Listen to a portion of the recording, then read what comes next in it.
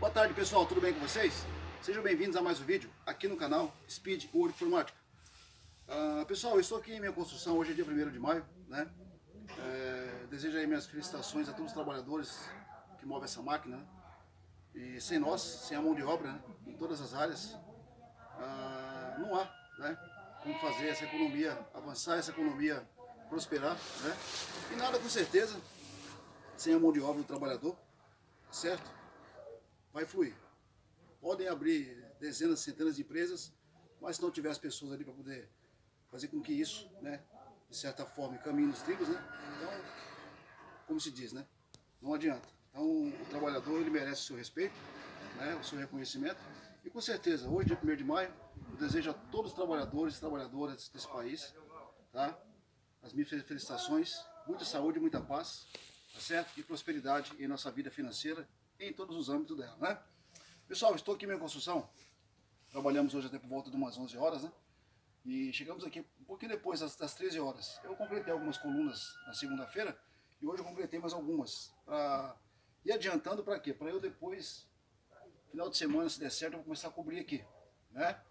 E hoje eu quero repassar para vocês aqui é, algumas informações referentes à inclinação, né? Ah, para essa telha de fibrocimento. Eu já estou com as telhas ali, tá? Estou com telhas de 3 metros e telhas de 2,44, tá? 5 milímetros, tá certo? E aqui estou utilizando vigas de 15, tá? Brutas, ela dá 5 por 15, tá ok? E essa madeira ficou aqui por quê? Porque a madeira estava verde, então eu coloquei ela aí para travar, porque ela pode dar uma selada com o calor, né? com a chuva, com o sol. Então a gente colocou ela aí, semana passada, né?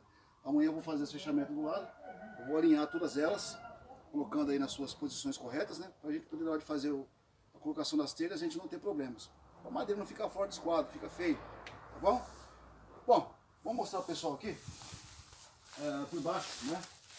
Ah, como é que ficaram essas vigas. Bom, aqui eu já apresentei para vocês o que será a nossa casa, né? Aqui uma sala com uma cozinha conjugada. E mostra pra gente aqui pra cima. Essa madeirinha eu coloquei por quê? Porque essa, essa viga de cara deu uma pequena selada, né? Aí eu puxei ela para alinhar, né?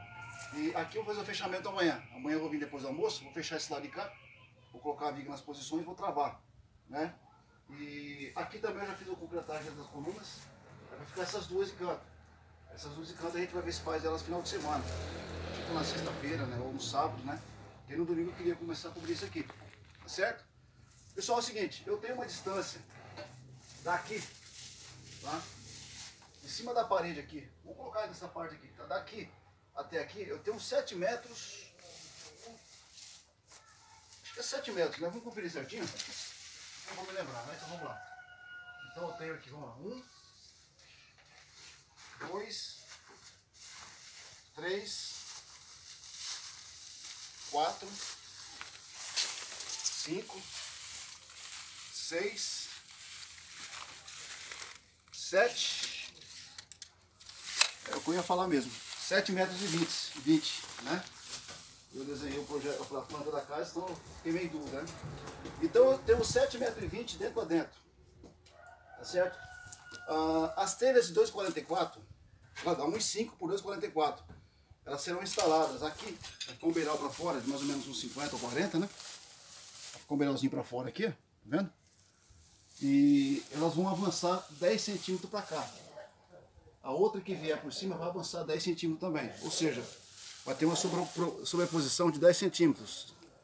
É o mínimo, viu pessoal? Evitem deixar muito curto, tá? Então 10 centímetros é uma, é uma sobreposição muito boa, porque isso pode evitar que a água né, ela, pode, ela possa voltar, tá? Pessoal, se, fa, é, se falam aí de 10 e 15% para essas telhas de fibrocimento. As demais telhas coloniais, como telha é, italiana, portuguesa, romana, né? telhas francesas, né? que já não usam mais, são aquelas quadradas, né?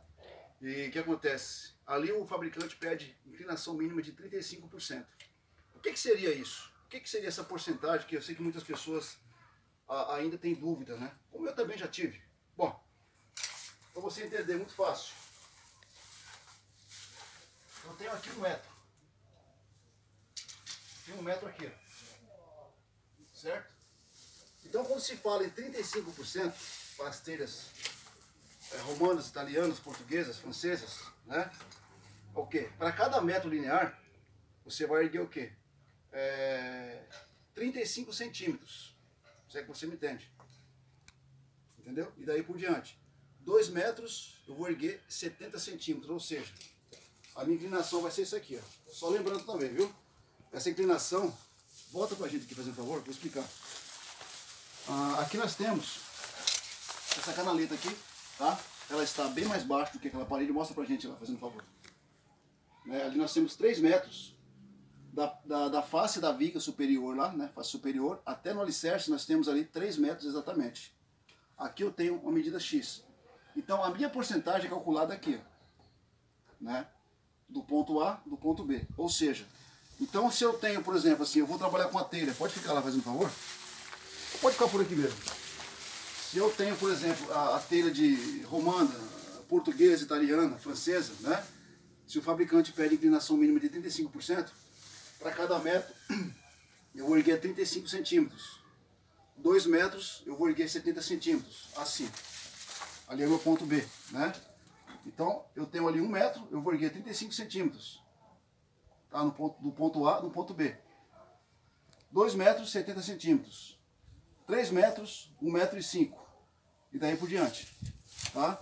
Isso para as telhas romanas, italianas, portuguesas e francesas. Para telha de fibrocimento, a porcentagem mínima é entre 10% a 15%. Ou seja, se eu tenho 7 metros aqui, se eu tenho 7 metros, então quanto é que eu deveria ter né, da face dessa viga na face daquela viga? Se eu medir aqui e medir lá, eu tenho que ter pelo menos 70 centímetros tá, de inclinação, isso levando a 10%. Tá? Como eu falei, as telhas de hoje, elas não contêm amianto, as telhas de fibrocimento. E elas se tornam as telhas mais vulneráveis à absorção de água. Tá? Então se você deixar uma inclinação muito, é, como eu vou falar para vocês, muito suave, tá? elas podem manchar facilmente. Aí você é obrigado a subir lá e impermeabilizar, né? Porque a falta do amianto nessas telhas, né? Faz com que essas telhas elas absorvam água muito mais fácil. Se você faz uma inclinação mais alta, né? A água ela vai embora. Entendeu? Tranquilamente. Entendeu? O problema é, se você fizer uma, uma inclinação muito é, inferior ao que é pedido, você pode ter problemas, tá? Talvez com retorno de água não, porque eu falei para vocês, a sobreposição tem que ser no mínimo 10 centímetros, ou seja, a telha de baixo vem, tá certo? E a de cima vem sobrepondo 10 centímetros. Aí é colocado o parafuso prendendo as duas telhas. Tá? Eu uso dois parafusos em cada telha, dois é, na ponta, dois no meio, dois aqui na ponta e por diante. Eu comprei 50 parafusos, pode ser que falte ou pode ser que, que, que dê para fazer o serviço. Né? O importante é você travar essas telhas por conta do vento, tá certo? Então a inclinação mínima, pessoal, para esse tipo de telha é entre 10 a 15%. Então se eu tenho 7 metros e 20, eu tenho que ter 72 centímetros né, daqui para a diferença para lá. Tá? Aqui ficou um pouco menos, mas não tem problema. Eu sei que eu não vou ter problema com o retorno de água. Tá? E, mas se você for fazer a sua construção e você pretende cobrir com essa telha, tá? faça essa inclinação. Ah, entre 10 a 15%. Se você fizer ela bem menor do que eles estão pedindo, você pode ter problemas aí. Tá certo? Porque ela pode acontecer o quê? Essa água ela retornar, tá? não dá tempo para escoar.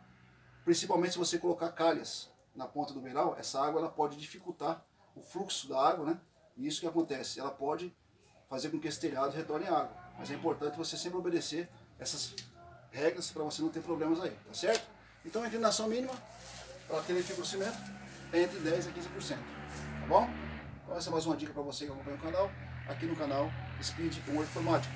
Ah, o próximo vídeo que eu farei agora, pessoal, vou mostrar para vocês eu fazendo a cobertura, certo? Mostrar para vocês a cobertura, vou apresentar para vocês as telhas, elas estão no meio do mato lá. Nós vamos trazê-las para cá. Aí eu e minha esposa vamos começar a cobrir aqui. Vamos fazer devagarzinho, pegar num, num, num, domingo de manhã, né? A gente vem cobrindo, né? Vai ficar para outro vídeo, né? Como é que eu vou cobrir nossa casa.